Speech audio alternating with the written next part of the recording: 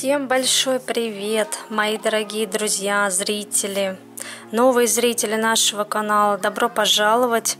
Сегодня у меня будет снова такое закадровая озвучка видео, потому что уборка. А, я хочу вам показать просто, как я убираюсь, а, убираю в доме перед тем, как мы отправляемся в отпуск. В этот раз у нас отпуск получился довольно-таки спонтанным. Просто знакомая моя девочка из турагентства, она предложила горящий тур в Турцию, в Аланию, и мы согласились отдохнуть. Все это очень спонтанно, но круто, то, что уже были сделаны загранпаспорта заранее, и у нас проблем с этим никаких не возникло. А, Все, что я пропылесосила, весь второй этаж, первый этаж я оставила за кадром, потому что ну, несколько раз показывать э, сначала пылесос, потом тряпки и так далее. Поэтому сразу решила вам показать, как я решила заправить в этот раз постель. Достала вот такой вот зелененький махровый пледик. Думаю, хотя бы им прикрою кровать. Э, более как-то поэстетичнее, что ли, смотрится, нежели когда просто поддеяльник э, виден. Мою сейчас полы. Пользуюсь вот такой своей любимой шваброй от компании Веледа. Очень много вопросов у меня поступило, где же я заказывала данную швабру. А, у нас официальный сайт veleda.ru и на этом сайте я нашла вот такую швабру. Естественно, перед тем, как ее выбирать, я читала отзывы в Инстаграм и просто в интернете. Люди очень многие довольны. Ну, попользовавшись сколько уже, вот полгода, ею я очень довольна, потому что руки сухие, чистые. Э, то есть как бы не то, что раньше приходилось снимать эту насадку, тряпку, полоскать, потом нужно было это руками все отжимать. У меня и так-то маникюр не держится, да, многие заметили. У меня вообще гель-лак этот, он не держится просто из-за того, что я часто нахожусь в огороде, в воде, мою много посуды. Вот, и поэтому мне хотя бы еще полы мыть, нужно как-то беречь руки, тем более там средства для мытья пола. Так, ну что, друзья, а, в детской комнате Вероника тут у меня уже пыль протерла на подоконниках, на столе, все везде разобрала. А, я сняла постельное белье, нужно поменять.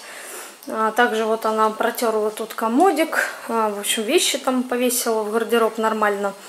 И сейчас я хочу вот тут все разобрать, а, диван собрать. В общем, к вечеру я тогда буду менять постельное. И сейчас уже протру полы, потому что пылесос остался за кадром. Думаю, ну, с пылесосом бегать тоже смысл тут два раза все показывать. Вот, так что сейчас буду просто протирать полы. Да, переместились мы постепенно в детскую спальню. Конечно же, друзья мои, будем менять мебель Вероники. Этот диванчик уже старый, ему порядка 9 лет. Мы его покупали в самый первый наш дом, который мы приобретали в кредит. Не, не могу сказать, что он плохого качества. У него основная часть э, пружинные блоки.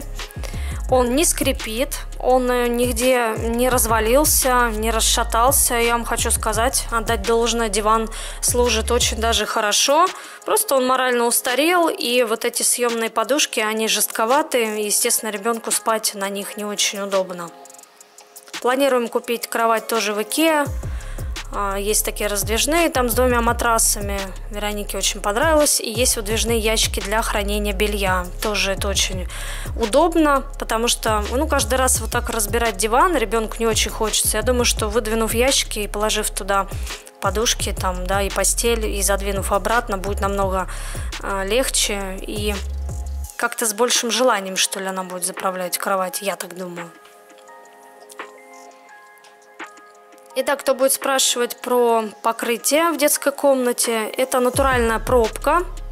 Не бюджетный материал, конечно, но для детской комнаты мы выбирали экологически чистый материал, более теплый. Пробка очень теплая. Вы как можете заметить, у нас нигде нет ни ковров, ни дорожек.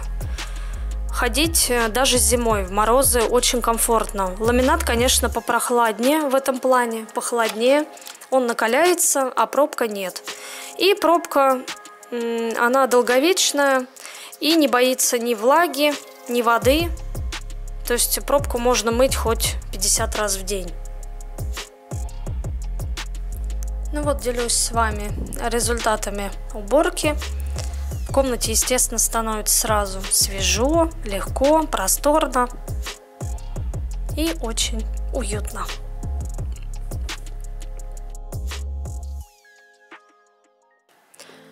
Постепенно я перешла в кабинет. У нас здесь всегда заправлен вот так диван, мини-диванчик. Ну, это для тех, кто любит э, до полночи не спать, посидеть в телефоне. И для того, чтобы не мешать друг другу, можно уйти в другую комнату и, так скажем, переночевать там. Но в основном стараюсь держать закрытым диван, заправленным. Этот диван у нас из магазина Янтарь. Ему порядка, наверное, 6 лет. Диван ужасный, я хочу вам сказать. Все вот эти секции, да, мягкие, которые раздвигаются, поднимаются, они все выполнены из обычного поролона. Нет там ни пружинных блоков. А, все конструкции начали скрипеть. Буквально уже, наверное, через год-полтора эксплуатации – сам по себе диван массивный очень, громила. И вот мне надо теперь все это разобрать. Гладильную доску поставить, убрать этот весь хлам, который после ремонта. Ну, конечно, от всего хлама мы не сможем избавиться до конца, пока еще идет ремонт, нам еще предстоит и красить, и коридор, и лестничный пролет. Поэтому пока пленки эти мы не выкидываем, мы отправляем их просто в гараж. Валики, лоточки, все это я унесу тоже в гараж. У меня там отведена специальная такая коробка, где я все храню для ремонта. Краску также. Вот этот стульчик маленький, расписной, который уже никому он не нужен.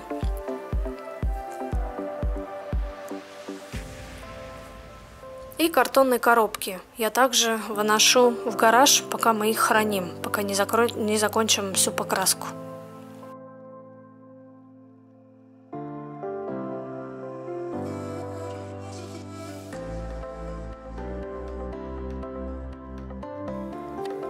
Я решила гладильную доску пока поставить вот туда в угол, для того, чтобы мне было удобно гладить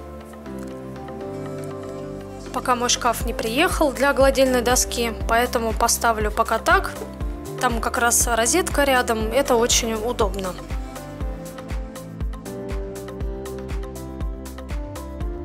Валерин Блейд Карес я убираю пока за компьютерный стол. Конечно, вот этот э, старомодный компьютерный стол тоже хочется поменять и найти какой-нибудь столик в Икее рабочий, более такой симпатичный чтобы все туда тоже уместить, и принтер, и системный блок.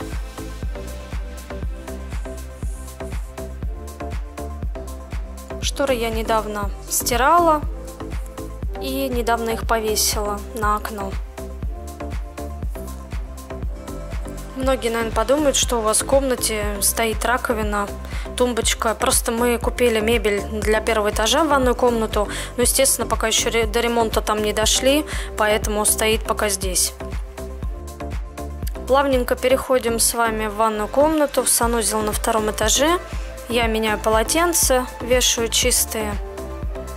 Унитаз я накануне помыла. На камеру, конечно, это я не снимала. Сейчас первым делом зеркало убираю весь ненужный хлам. И использую всегда наведенный уксус 9% в соотношении 1 к 1 с водой. Все протираю, друзья, вот такой уксусной водой. Никаких вам разводов, а, никаких а, отпечатков пальцев не остается. И очень хорошо даже растворяет а, известковые отложения.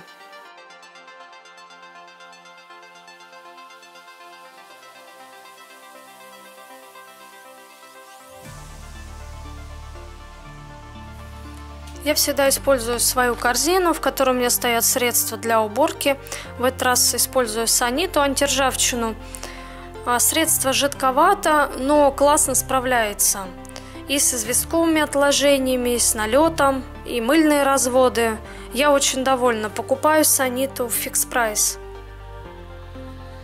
Сначала я все, естественно, намыливаю и оставляю для взаимодействия минут на 10. Далее это же средство я использую в душевом поддоне, так как тоже там собирается известковое отложение. Видите, какая реакция моментальная да, становится от средства. То есть в нем содержится какая-то щелочь, кислота, которая взаимодействует с известковыми отложениями и происходит вот такая бурная реакция, аж шипит. Видите, да? И тоже намыливаю, вот так оставляю. Вот эту вот решеточку пластмассовую белую тоже мою. Вода у нас, она не очень жесткая, я вам хочу сказать. Мне не приходится часто вот так мыть. Нам с этим очень хорошо повезло. Возвращаюсь к раковине. Еще раз все хорошо промываю. И потом уже все смываю чистой водой.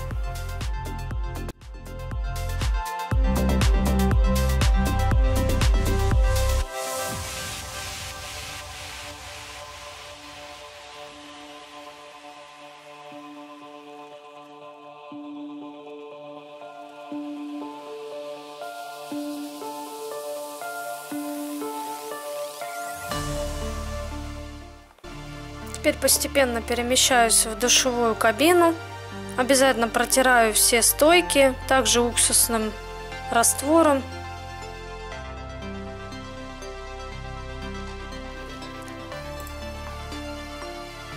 Также протираю смеситель. Все очень блестит от уксуса, я очень довольна. И протираю вот этот шланг. Он у нас гладкий, очень удобно за ним ухаживать. Смеситель у нас фирмы Гроя. И теперь смываю поддон. Все хорошо отмылось. Протираем вот этот порожек высокий. Ну и в принципе все очень чисто и красота.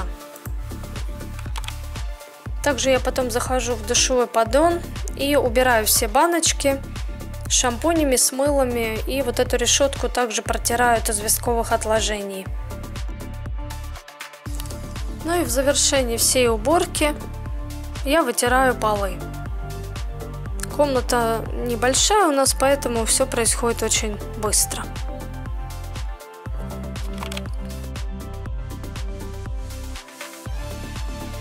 Далее разбираю все в коридоре, выношу все лишнее вниз – ну и, соответственно, протираю полы с плавным переходом на лестницу. И да, вот это окно наше витражное, там часто скапливается такая паутина, и я шваброй эту паутину снимаю и перехожу на первый этаж. А на первом этаже вообще полный хаос. Тут, как всегда, все наставлено, навалено, посуды полно. Нужно перемыть всю посуду. Все это хорошо, красиво разложить. И также помыть э, газовую плиту. Плита в ужасном состоянии после приготовления еды. Сначала снимаю решетки, потом переключатели газа, комфорки. Мне очень понравилось средство Homestar. Дешевое, бюджетное, средство работает, поэтому использую его всегда для мытья варочной поверхности. Сначала убираю все крошки просто мокрой губкой, а потом уже использую средство. Очень хорошо все отмывает и все блестит. И да, друзья, кто впервые на нашем канале, многие посмотрят на наши стены и скажут, почему у вас такой бардак, почему у вас еще ничего не сделано. А, мы в процессе, а, этот путь, путь у нас не легкий, мы очень тщательно подходим к ремонту на кухне. Вот, очень долго уже выбираем производителя кухни. У нас уже не знаю сколько замерщиков было в доме. А, все говорят разные суммы. Хочется, конечно, и подешевле, хочется и покачественнее. И пока у кого заказывать, мы даже не определились, потому что все, кто приходит, замеряет. Кухня, она не маленькая, кухня получается большая. И практически у всех бюджет вырисовывается в 200 тысяч рублей. А, чтобы вот так просто за наличку пойти и приобрести такую кухню мы не можем, а многие производители не идут на такие уступки, как кредит или долгая рассрочка хотя бы на год. А, у них дается рассрочка либо на 4 месяца, вот, либо вообще нету никаких кредитов и ну, послаблений, так скажем. А, поэтому ну, выбираем тех производителей, которые нам помогут купить кухню в кредит. Теперь я застилаю диван. Диван у нас из Икеа. И стараемся, конечно, его защищать вот такими пледами, которые также мне прислал Веселек. Я очень довольна пледами, они бюджетные и очень хорошо подошли по расцветке к нашему дивану. И я приспособилась с помощью, двумя, с помощью двух пледов – заправлять вот такой угловой диванчик. Конечно, это приходится делать каждый день, потому что сидим, лежим на нем и все сбивается. Но, тем не менее, смотрится очень даже неплохо. Подушки, они со временем теряют немножко форму, когда на них облокачиваешься. Но я переворачиваю другой стороной, вот так руками взбиваю и они становятся на прежнее место. Подушки тоже нормальные. И надо бы уже, конечно, декорировать э, к осени. Наволочки другие заказывать осенние.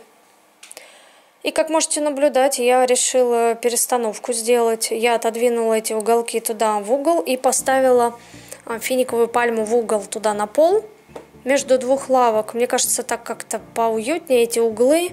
А, просто торчащие лавки мне надоели. Постоянно ходишь, об них спотыкаешься. На мой взгляд, мне кажется, так лучше получилось. Но вообще, конечно, у меня огромное желание быстрее избавиться от этих лавок и от этой рыжей мебели.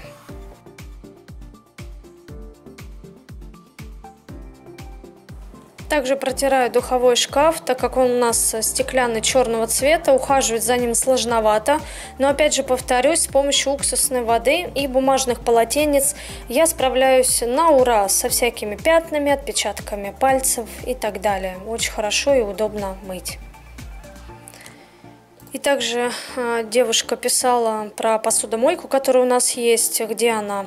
Да, она у нас стоит, друзья, в упаковке, но я же не буду ее встраивать в эту кухню, понимаете, да? Нужна новая кухня. Перемещаюсь постепенно в зону гостиной. Вот они путевки, показываю вам, все распечатала уже. Скоро мы летим на отдых. Ой, друзья, я так вообще не ожидала, что мы полетим на отдых так спонтанно, потому что вот эти горящие туры, они, конечно, иногда очень хорошо выручают и по цене. И поэтому появилась такая возможность, мы подумали, почему бы ей не воспользоваться, а, потому что мы были на юге, на море последний раз а, лет 5-6 назад. И очень хочется уже отдохнуть, переключиться – я снимать, конечно, для вас обязательно буду а, по возможности что-то самое интересное, но вот так вот, чтобы просто снимать все подряд, я думаю, что нет. Хочется отдохнуть, хочется побыть без камеры, потому что а, блогеры меня поймут. Быть с камерой 24 на 7 это очень сложно. Иногда хочется уделить время семье, мужу, с которым мы и так а, редко очень видимся в связи с тем, что он много работает. Я протираю подоконники, пыль, цветы, поливаю обязательно. Также протираю обязательно балконную дверь. Мне кажется, здесь можно протирать э, в день по несколько раз. Мы ходим, пока лето, и вот это стекло очень сильно пачкается от рук, ну и очень быстро загрязняется. Протираю снаружи и снутри.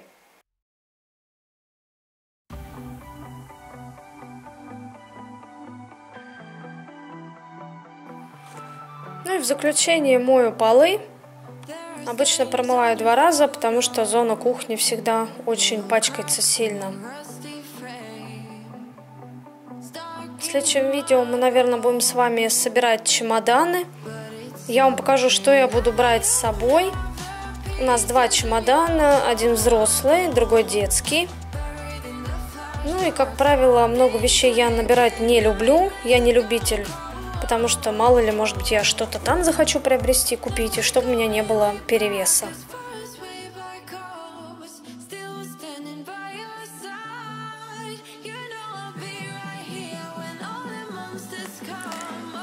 Ну и в заключение показываю вам свой результат. Конечно, все пока бюджетненько, скромненько, но зато чистенько и хорошо.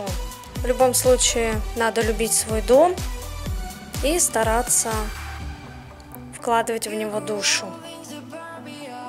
Я надеюсь, что вам видео было полезным, понравилось. Обязательно подписывайтесь. Мы с вами скоро увидимся. Всем пока-пока и удачи во всем.